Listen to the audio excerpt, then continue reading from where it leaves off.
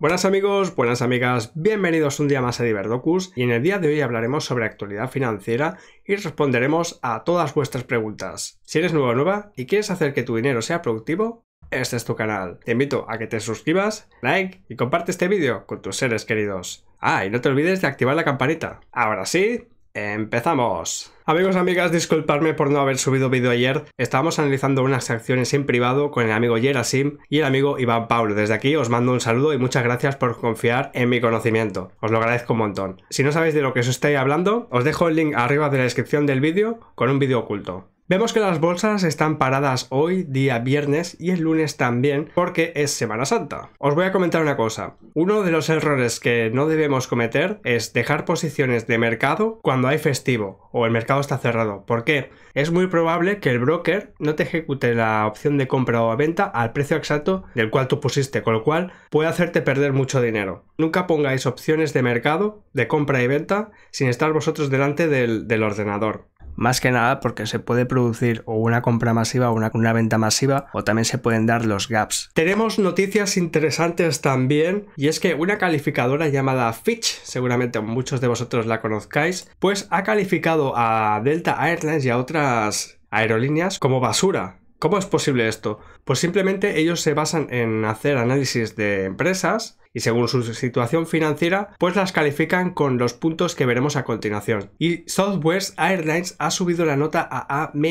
Auguran que esta compañía es viable. Esto no es del todo fiable porque también hay que analizar sus estados financieros. También tenemos a United Airlines con una bajada a W. ¿Qué significan estas calificaciones? Pues básicamente tenemos, por ejemplo, a Moody's, Standard Poor's y a Fitch, de las cuales hacen ellos sus propios análisis y califican a las empresas según su solvencia, su máxima calidad crediticia, etc. Esto os lo explico ahora mismo. Mira, tenemos diferentes niveles. Por ejemplo, máxima calidad crediticia, alta calidad, buena calidad, calidad satisfactoria, Existen tensiones a largo plazo, que esta sería la categoría actual de varias de las aerolíneas que estamos hablando. Delta Airlines se encontraría por aquí en este momento. ¿Puede quebrar la empresa? Esto depende de cómo vayan las cosas. Sabemos que esto es pasajero y no siempre va a durar así. Luego, en rangos inferiores tenemos ya la calificación de B. Luego CCC, las últimas serían RD o SD y la calificación D, que es una basura total. ¿Cuál es la calificación máxima para una empresa? Pues la AAA. En cuanto a novedades de Carnival, no hay muchas, la verdad. Sé que gran parte de vosotros tenéis las acciones. Si no las habíais visto, no habíais visto nuestro análisis, te recomiendo ver este vídeo de aquí,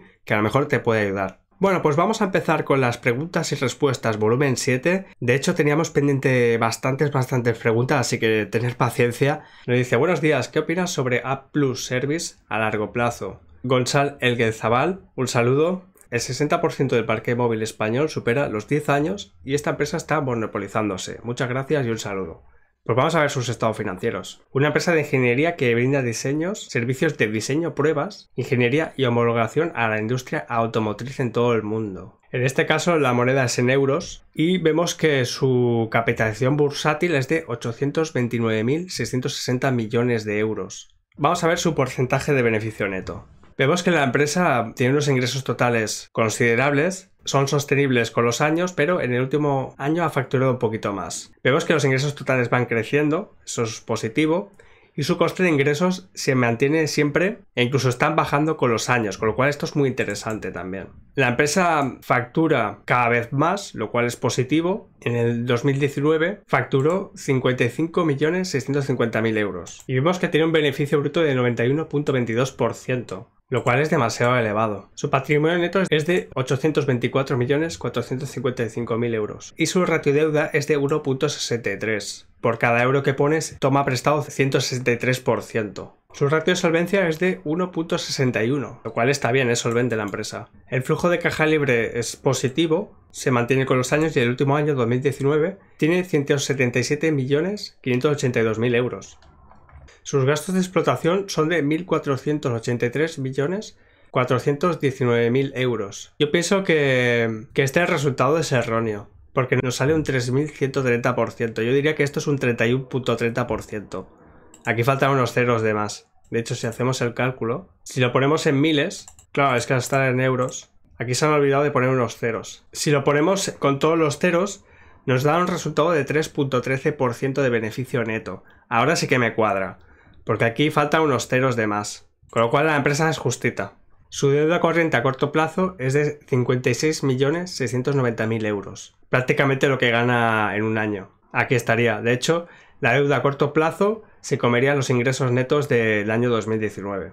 Y aparte, la deuda a largo plazo que tiene, si es que la tiene, 549.954.000 euros. Con lo cual la empresa está demasiado endeudada siendo su ratio de deuda de 1.63, pero seguramente su ratio de deuda a largo plazo sea mucho más. Tenemos a Tiago Álvarez y nos pregunta, Alibaba, ¿qué te parece? Pues es una de las empresas con mayor capitalización del mundo. Creo que también hicimos un análisis en anteriores vídeos.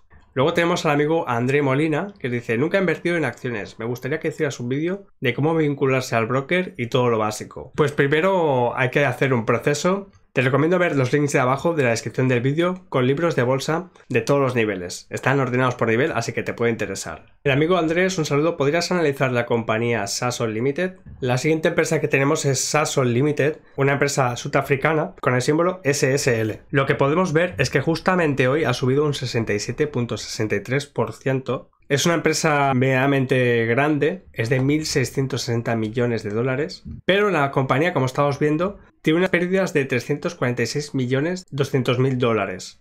Su profit margin es de menos 3.20%, con lo cual la empresa está perdiendo dinero, pero su margen de beneficio bruto es bastante alto, es de 54.50%. La empresa toma deuda a corto plazo de 0.70 y deuda a largo plazo de 0.62 lo cual toma bastante deuda. En cuanto a price to book, está infravalorada, es de 0.13 y el PER pues lo tendríamos que ver. Este análisis está en la moneda ZAR. La moneda de Sudáfrica equivale a 0.055 dólares. Vemos que la empresa tiene unos ingresos positivos, en años anteriores mucho más que ahora, y actualmente tiene un descenso de casi el 50% a comparación del 2018 con el periodo de 2019. Tiene un porcentaje de beneficio de 2.1%, pero en Finbis pone que es de menos 3.20%. Su beneficio bruto, en cambio, pone aquí en datos de 2019 que es del 46.67%, lo cual está bien, pero su porcentaje de beneficio neto es muy bajo. Vemos también que su coste de ingreso aumenta con los años, lo cual es peligroso,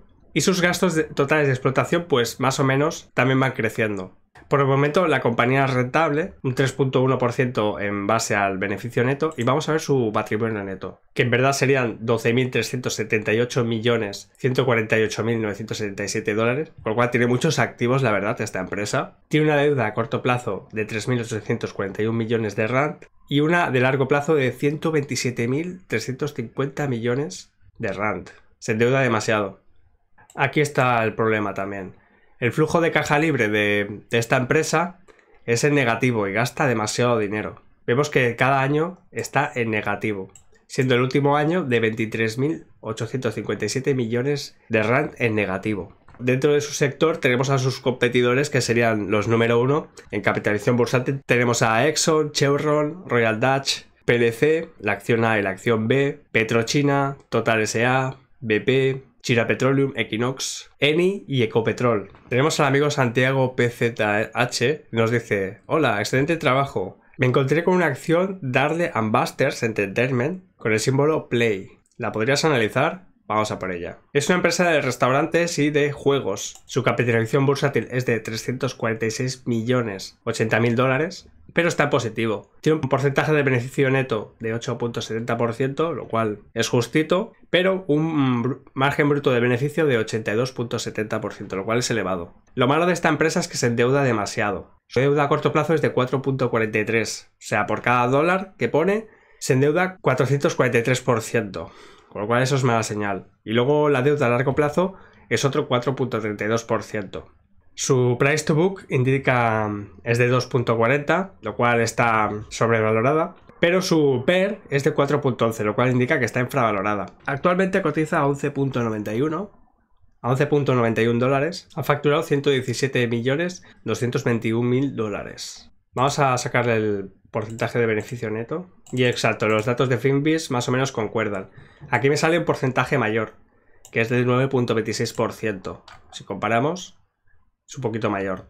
Los costes de ingresos son, eh, a comparación de los ingresos totales, son prácticamente casi casi del 50%, pero el beneficio bruto es bastante alto, la verdad. Lo malo es que entre el coste de ingresos y el gasto total de explotación prácticamente se les va todo el dinero. Y con los años pues va creciendo estos gastos. Es por ello que a lo mejor incurren en deuda. Si a, si a esto le añadimos deuda, su patrimonio neto es de 387.837.000 dólares. Y su ratio de endeudamiento es de 2.28, con lo cual esta empresa se endeuda demasiado. Bueno amigos y amigas, espero que os haya gustado mucho mucho y os haya servido este vídeo. Si queréis participar en el Preguntas y Respuestas volumen 8, poner un comentario, participar en nuestra comunidad y resolveremos vuestras dudas. Si eres nuevo o nueva, te invito a que te suscribas, like y compartas este vídeo con tus seres queridos. Si quieres hacer que tu dinero sea productivo, este es tu canal. Sobre todo, haz que lo bueno suceda. En Diverdocus aumentamos tu valor.